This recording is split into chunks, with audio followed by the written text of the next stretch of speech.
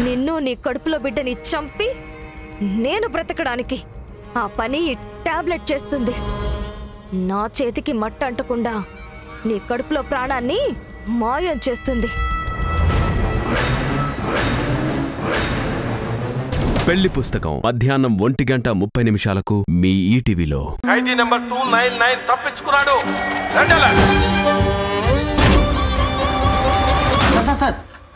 ఆడి జైలు నుంచి ఎలా తప్పించుకున్నాడు అని అడుగుతున్నారు. ఈ